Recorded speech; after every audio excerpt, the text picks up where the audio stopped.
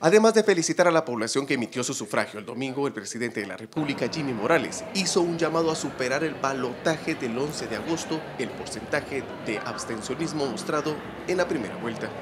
Todos los guatemaltecos tenemos una gran responsabilidad con nuestra democracia y por esa razón los exhorto, los motivo, los invito para que analicemos nuestro voto, pero por sobre todo que asistamos a votar porque nuestro derecho al sufragio debemos ejercerlo con madurez y con la responsabilidad patriótica que nuestra nación demanda.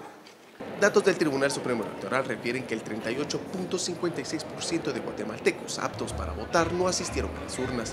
La información de la identidad se da cuando se han procesado el 98% de las mesas electorales.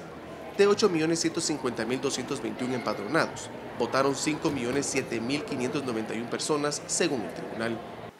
La democracia de un país se fortalece en la medida en que sus procesos políticos y electorales se legitiman a través de la voluntad popular.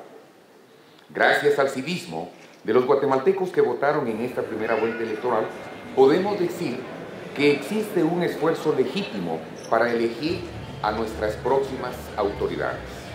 A los dos equipos de trabajo que han sido electos para participar en una segunda vuelta, que con humildad puedan evaluar todos los procesos que se han tomado en ruta de la transparencia, de la información abierta, de todo aquello que es un plan nacional con políticas de Estado. Con los datos preliminares del Tribunal Supremo Electoral, Sandra Torres de la Unidad Nacional de la Esperanza UNE y Alejandro Yamatei de Vamos pasarán a disputarse la presidencia en la segunda vuelta electoral. Tuvieron el 25.74% y el 13.89% de los votos válidos respectivamente. Para DCAT informo, Noé Pérez.